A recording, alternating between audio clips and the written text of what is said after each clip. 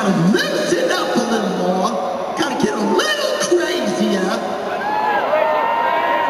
So, it's okay to be sophisticated all week long, but tonight, I want y'all to start acting like animals.